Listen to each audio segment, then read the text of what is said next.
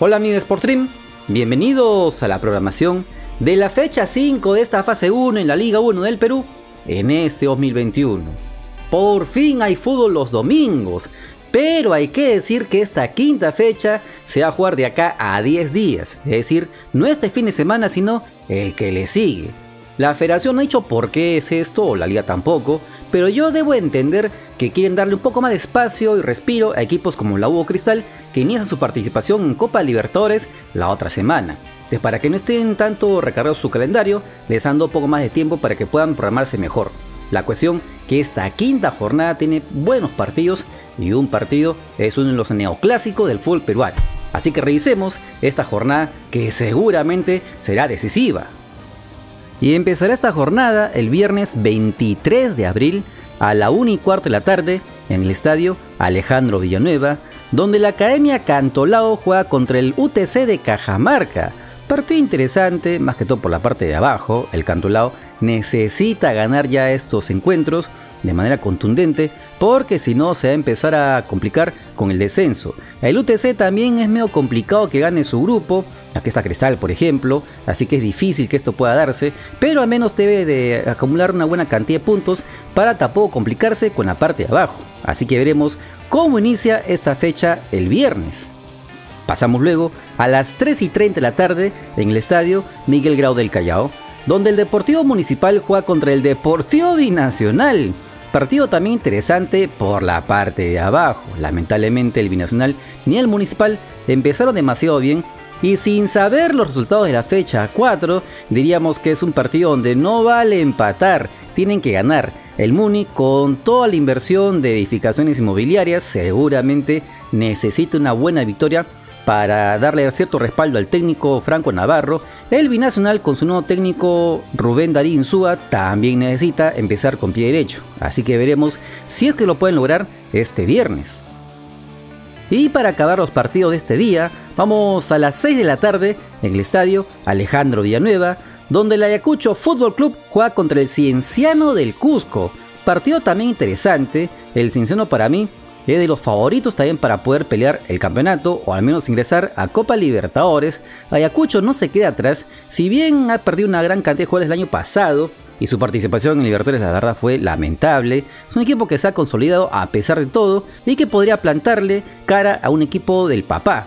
Así que veremos cómo acá toda esta fecha de viernes. Pasamos luego al sábado 24 de abril a las 11 de la mañana en el estadio Iván Elías Moreno donde Alianza Universidad juega contra el Sport Boys del Callao, un equipo guanuqueño que está tratando de encontrar su mejor cara de la mano de Raymond Manco. Si bien ha ganado un par de partidos interesantes por la mínima, lo que se mostró contra Cristal fue la verdad muy poquito. El Boys, algo parecido, está tratando de buscar victorias consecutivas. Si bien es un equipo que se armó también para pelear el campeonato, pelear arriba, lamentablemente esa defensa no le ayuda. Así que veremos quién es el que gana este encuentro en la mañana. Pasamos luego a las 3 y 30 de la tarde en el segundo partido en el estadio Iván Elías Moreno, donde Alianza Lima juega contra Universidad César Vallejo. Otro buen partido, ¿ah? lo digo por el Vallejo porque es un equipo más consolidado, que es lo que más posición tiene en el campeonato, es dificilísimo quitar la pelota. Si está con la pólvora mojada, podría Alianza Lima tener una chance de ganar este partido, aunque quién sabe, el equipo íntimo es un equipo que recién está en formación, que están recién encontrando, por ahí con la ayuda de Jefferson, Farfán, El Zorrito o Barcos, podrían darle una sorpresa a este encuentro, que la verdad, sinceramente yo creo que aquí en las apuestas favorito será el Vallejo. Pero en el fútbol todo puede pasar. Así que veremos cómo acaba esta jornada el sábado en la tarde.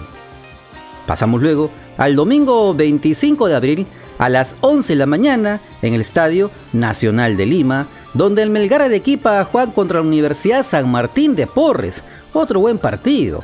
Ambos equipos saben tratar bien la pelota. El Melgar es uno de los equipos que mejor está jugando, aunque cuando no está fino de cara a la portería rival y le falta gol, es un equipo que se ahoga en su posesión, su buen juego y no saca resultados. La San Martín, algo parecido, un equipo que si bien ha perdido gran cantidad de su columna del año pasado, un equipo que también depende mucho del paraguayo Carlos Monjes, pero que podría tener una chance, repito, si defiende bien. Así que veremos cómo empieza esta jornada el domingo, por primera vez desde casi un año atrás.